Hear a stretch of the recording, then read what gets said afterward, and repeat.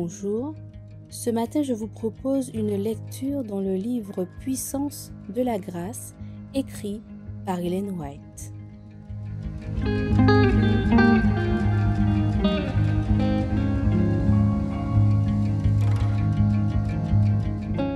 Lui laisser la direction de notre vie.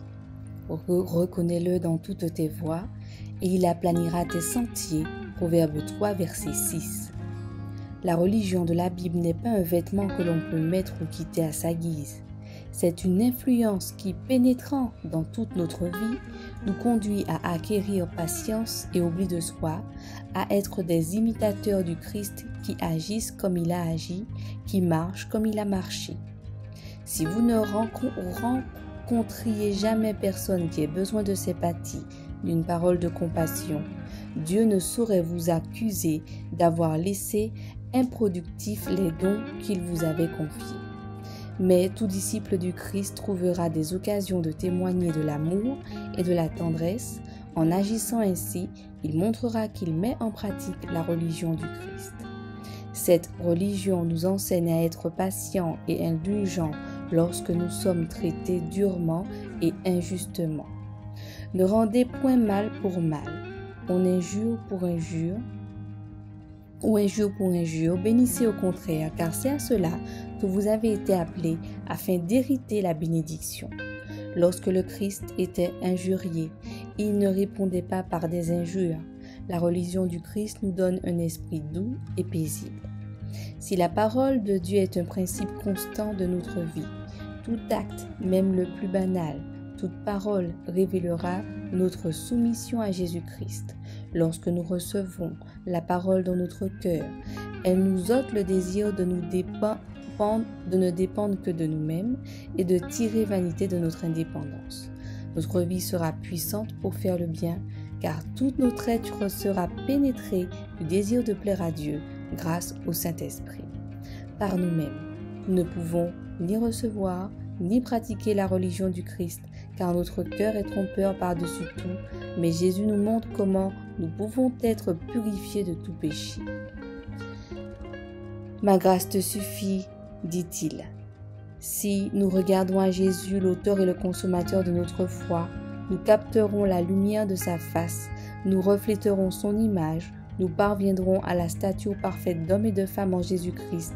Notre religion sera attirante. Nous serons heureux parce que notre nourriture et notre boisson spirituelle seront la justice, la paix et la joie.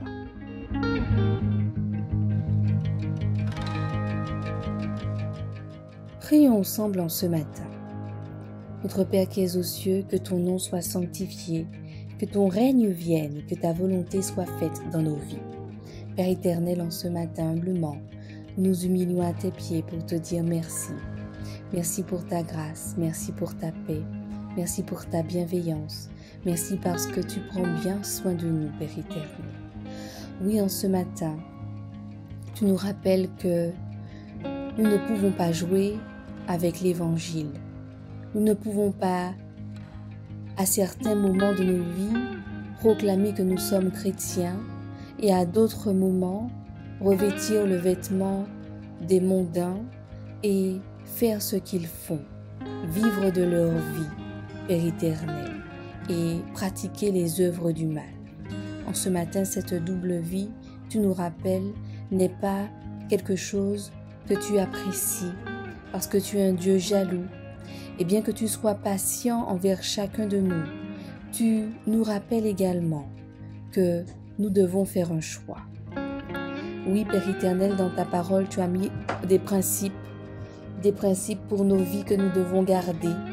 Aide-nous, Père éternel, à marcher selon ces principes, à nous conformer à tes commandements, à rester obéissants avec la grâce que tu nous donnes, la force que tu nous donnes, Père éternel. Aide-nous à nous soumettre à ton Esprit Saint, car tu nous rappelles que ta grâce nous suffit à faire pour faire le bien. Il n'y a rien que nous ne puissions faire, Père éternel, parce que tu nous donnes tout et toute la victoire est en Jésus-Christ. Merci pour tes promesses. Merci parce que tu nous accompagnes encore et encore. Nous voulons être heureux en toi. nous voulons jouir, Père éternel, de tes bénédictions. Alors pour cela, donne-nous de te rester fidèle et accorde-nous ta paix, ta grâce pour cette nouvelle journée. Au nom de Jésus. Amen. Je vous invite à passer une très belle journée et n'oublions pas, laissons à Dieu la direction de notre vie.